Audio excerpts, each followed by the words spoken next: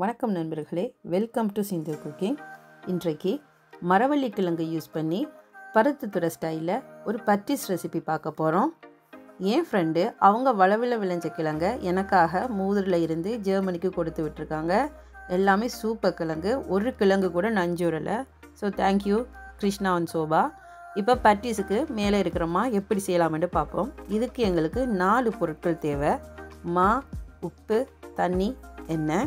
முதல்ல ஒரு கப் மா எடுத்து அதுக்கு தேவையான அளவு உப்பை போட்டு கொஞ்சம் கொஞ்சமாக தண்ணி ஊற்றி ரொட்டி மா பதத்தில் பிசைஞ்சு எடுத்துக்கொள்ளுவோம் மாவை குழைச்ச பிறகு கொஞ்சமாக எண்ணெய் விட்டு இந்த பட்டிஸ் மா காயாத அளவுக்கு நாங்கள் ஒரு துணியோ இல்லை ஒரு மூடியோ போட்டு மூடி வச்சுக்கொள்ளுவோம் இதை வந்து நாங்கள் ஒரு ஓரமாக எடுத்து வச்சுடுவோம் ஏனெண்டா எங்களுக்கு இப்போ இதில் தேவையில்லை.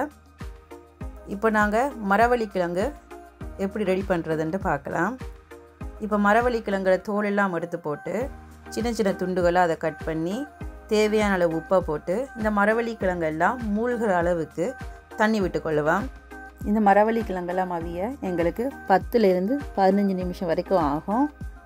மரவள்ளி கிழங்கு அவிஞ்சால் தானே பாதியாக வெடித்து வரும். அதிலே நீங்கள் தெரிஞ்சு கொள்ளுங்கள் மரவள்ளி கிழங்கு அவிஞ்சிட்டு இப்போ இதை நாங்கள் ஒரு தட்டில் தண்ணியை வடித்து போட்டு மாற்றி வச்சு தனி தண்ணி வடியத்தான் கொஞ்சம் லேட் ஆகுது.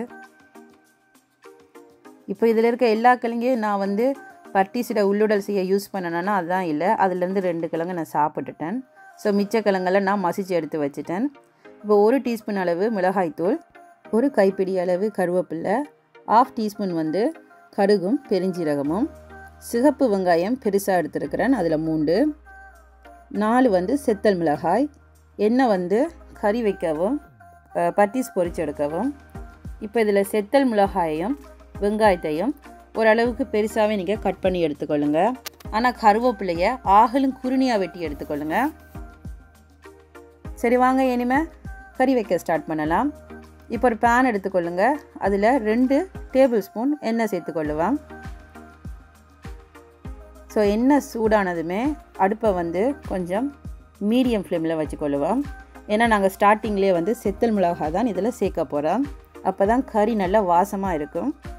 இப்போ ஒரு நிமிஷத்துலேயே நாங்கள் கடுகும் பெருஞ்சீரகமும் இதோடு சேர்த்துக்கொள்ள வேண்டியதான் அதுவும் வெடித்து வந்தோன்னே அதோடு நாங்கள் வெங்காயமும் கருவேப்பிலையும் சேர்த்துக்கொள்ளுவோம் இது எல்லாமே நீங்கள் மீடியம் ஃப்ளேம்லேயே செய்யுங்க.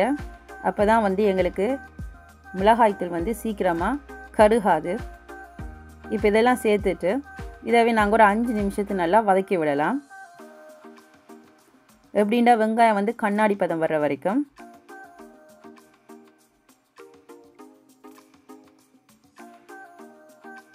ஸோ நீங்கள் வதக்கும் போதே உங்களுக்கு நல்ல அரோமா வரும். ஸோ இனிமேல் மரவள்ளி கிழங்க சேர்த்துக்கொள்ள வேண்டியதான்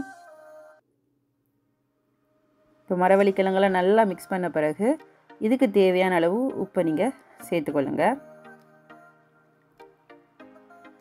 ஸோ எங்களுக்கு மரவள்ளி கிழங்கு உள்ளுடல் தயாராகிட்டு ஸோ இனிமேல் வந்து மாவை செக் பண்ணி பார்க்கலாம்.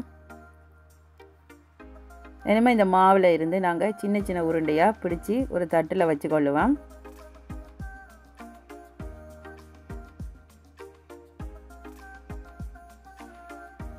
ஆகலும் குட்டியாக நீங்கள் உருட்டக்கூடாது. இங்கே பாருங்கள் இந்த பால் சைஸில் உருட்டினா ஓகே ஏன் ஆகலும் குட்டியாக உருட்டக்கூடாதுண்டா? அப்புறமா வந்து எங்களுக்கு பட்டிஸ் வந்து பிரிஞ்சு எண்ணெய் குடிக்க பார்க்கும். ஸோ அதே மாதிரி எல்லா உருண்டையும் நீங்கள் ஒன்றா பிடிச்சி ஒரு தட்டில் வச்சுக்கொள்ளுங்க.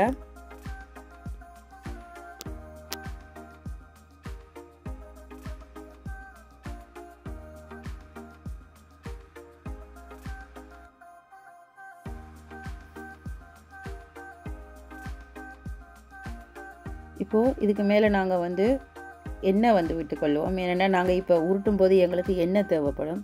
ஸோ இதில் எண்ணெய் இருக்கிற வழியாக நாங்கள் அப்படியே உருட்டி எடுத்துக்கொள்ள வேண்டியதுதான். இதுக்காக நாங்கள் எக்ஸ்ட்ரா எண்ணெய் எடுத்து ஊற்ற வேணாம்.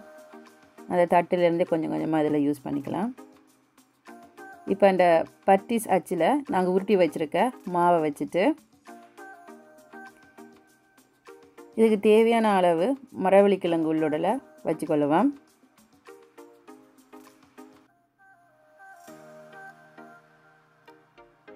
ஸோ எல்லாத்தையும் க்ளோஸ் பண்ணதுக்கப்புறமா எக்ஸஸாக இருக்க மாவு வந்து நாங்கள் கையாலேயே பிச்சு எடுத்துக்கொள்வோம்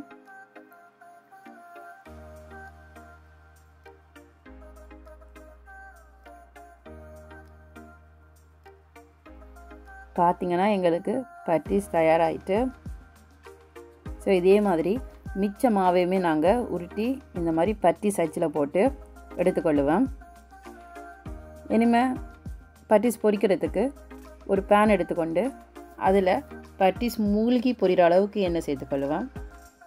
எண்ணெய் சூடாயிட்டான்னு ஒரு சின்ன துண்டு மாவை போட்டு பார்க்கலாம். இனிமேல் இதில் எத்தனை பட்டிஸ் போடுமோ அத்தனை பட்டிஸையும் நாங்கள் போட்டுக்கொள்ளுவோம்.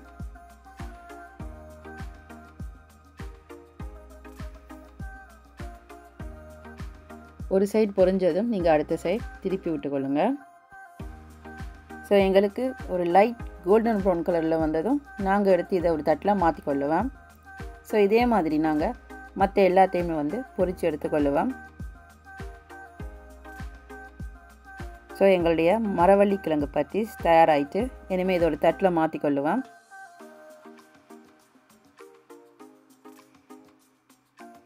சடா இதோ மரவள்ளி கிழங்கு பட்டிஸ் தயாராகிட்டு ஸோ காய்ஸ் நீங்களுமே நான் சொன்ன மாதிரி ஒரு தடவை செஞ்சு பாருங்கள் எப்படி இருக்குன்னு எனக்கு கமெண்ட் பண்ணுங்கள் தேங்க்யூ ஸோ மச்